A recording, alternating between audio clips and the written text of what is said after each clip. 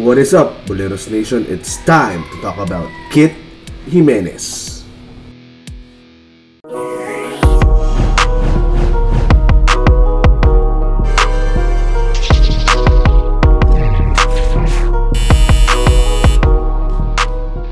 What is up, Boleros Nation? Isa sa mga pinakapopular na basketball players sa Pilipinas ngayon ay walang iba kundi si T-Rex Kit Jimenez. From Dayo series ng Mavs Phenomenal Basketball to the hardcourt of the MPBL, patuloy na nagpapakitang gilas itong si Kit Jimenez. Kamakailan lamang ay nagtala siya ng record-breaking quadruple-double sa MPBL at sa aking opinion lamang, ibang klase talaga ang laruan ni Kit Jimenez. And he's now a bona fide MPBL superstar at maaaring maging MPBL MVP, which he truly deserves. Pero ano na nga ba ang susunod para kay Kit Jimenez? PBA na nga ba? Kaya niya bang dalin ang ganitong laro sa PBA? Where the big boys play.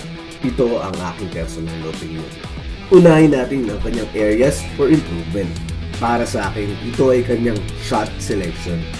Di matatawaran na kayang ishoot ni Kit Jimenez ang mga 3 points na curry range. Ngunit, subalit katapwat. Pagdating sa PBA, masasabi natin ill-advised shot pa rin ang long range or ang curry range 3 points ni Kit Jimenez.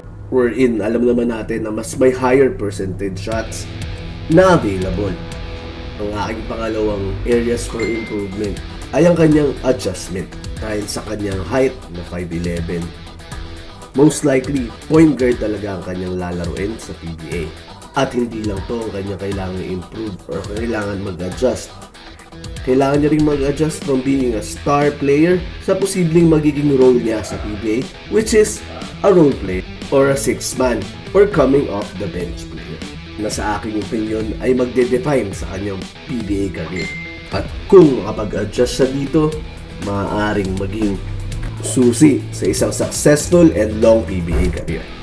Isa pang area for improvement or pwedeng maging problema sa PBA career ni Kit Jimenez ay ang kanyang injuries.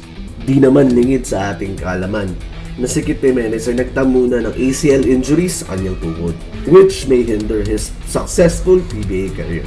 At ako bilang isang basketball fan at Kit Jimenez fan, I hope and I'll pray na maging safe at healthy si Kit Jimenez. Isa pang maaaring negative side kay Kit Jimenez ay ang kanyang clout, which can go both ways. Maaari siyang isang maging popular na PBA player dahil dito at maaari din tong maging negative sapagkat halimbawa nagkaroon siya ng isang pangit na game at inupo na si Kit Jimenez. Maaaring maraming supporters ito ang magalit sa coach at magkaroon ng hate which will produce ng negativity para sa coach at para sa imahe ng PBA. And definitely, in a way, magkakaroon to ng impact sa karera ng ating idolo na si Kit Jimenez. Punta naman tayo sa mga positive sides ng karera or ng magiging karera ni Kit Jimenez. At maaaring magresulta sa isang successful PBA career.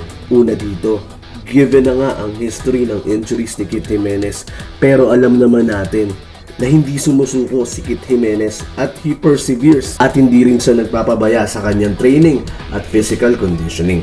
Pangalawa, he is very skilled, talented, and he is definitely a hooper. He's a triple threat.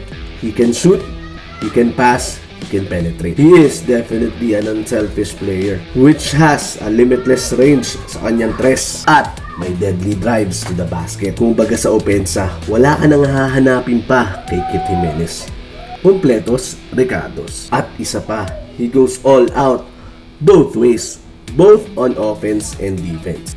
Sobrang sipag din ni Kit Jimenez sa kanyang depensa. He reads passing lanes well, which produces steals and pass break layup. At ang isa pang alas niya, pinaka-importanting alas ni Kit Jimenez ay ang kanyang mentality ang Mavs mentality na kanyang minaster at ang kanyang sickening consistency. Sobrang sipag ni Kit Jimenez sa kanyang mga training at kitang-kita to at lumalabas to at nagre-resulta sa kanyang magandang game sa MPBL.